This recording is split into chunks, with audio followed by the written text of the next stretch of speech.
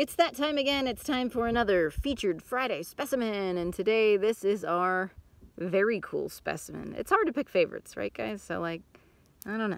Maybe you guys have a favorite so far on our featured Friday specimens, but this one's up there. But again, I, I might say that on a lot of them. I don't know. This is a pretty cool specimen. So, what we have here is, let's see if I can just show you a couple of different perspectives. It's a little shiny there on the surface.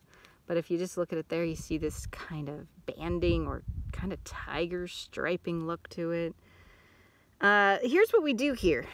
I show you the specimen so you can see the cool stuff that's out there that you can find and, and all the cool geologic features that are in our world. And I just kind of pick something random from my collection or something I find in the field that I think I just want to show you guys. And then you take a guess, take a stab at what you think it is. Drop it in the comments. Don't cheat. Don't look at everybody else's. Just drop your own in the comments and see if you can take a guess at what it is. And if you're wrong, that's okay. Let's just take a look at this one a little closer here. It's fun to see how many guesses we can come up with on these and then it's really cool to just look at all these different some of these a lot of these are my favorites for sure this one there's the bottom part of that all right, so this is the main chunk. Sometimes I'll say like, you know, what is this specific part? But let's just say, what are we looking at here? What's going on? So, again, there's a lot of guesses we could make on this. There's things that look like this in the field. This is maybe a little tricky one. Um, but that black stuff, what do you think that black stuff is anyway? So it looks a lot like it looks a bit like obsidian, right? Some of you maybe you've guessed already. Maybe you thought that's obsidian. Um, but then what about the tannish, orangish tone stuff as well? Well, if you've hunted for obsidian, you know there actually is a type of obsidian um, that you can find that, that you, you can get impurities and you can get different colorations and bandings in obsidian specimens. Um, there is a kind of tiger striping or mottled look to many forms of obsidian. So um, I do a whole discussion on obsidian. We don't have to go into that today, but if you want to check it out, you can check out the whole discussion on obsidian that I did in a different video.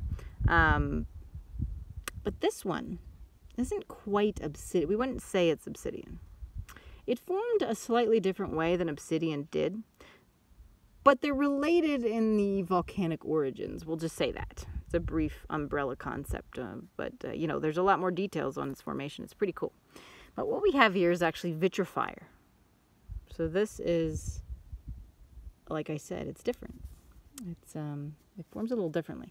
I have talked about this in details um, as well, and and you can learn about the difference between this and obsidian. But it's a very cool, um, hot material, and it forms this vitrophyre.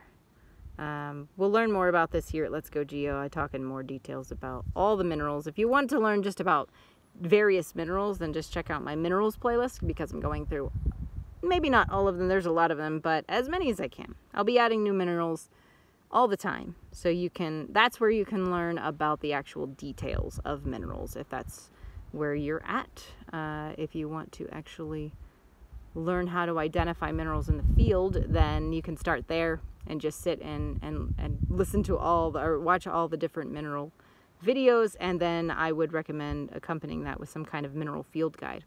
Um, and I do a whole video on the uh, how to build a kind of a rock hounding kit. And one of the suggestions in that is actually to get a mineral field guide. So that's what you want to get your hands on if you want to get better at identifying minerals. But for now, this is our featured specimen of the day. Lots of cool stuff to explore out there, guys. So get out there, enjoy it, and learn more here with me on the next adventure at Let's Go Geo. We'll see you guys.